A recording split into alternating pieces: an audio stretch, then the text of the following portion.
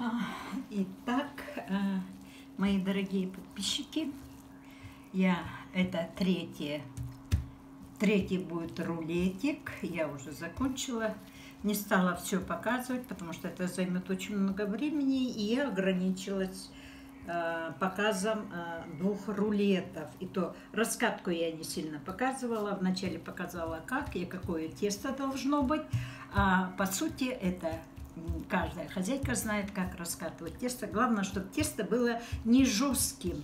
Он должен быть средней мягкости, потому что когда совсем мягкая, она у вас сильно растянется. Ну вот. А когда средней мягкости, его и раскатывать хорошо, и все. Мы распределили фарш, начинку по всему параметру круга. Ну вот, и все. И теперь закатываем. Так, вот. Теперь закатываем. Тесто очень тонкое должно быть, тогда он у вас получится очень вкусным. Так, и у меня уже готовый лист. Я ложу сюда и отправляю мантышницу на, в пароварку. Это мы раньше называли мантышницей, а сейчас э, пароварка.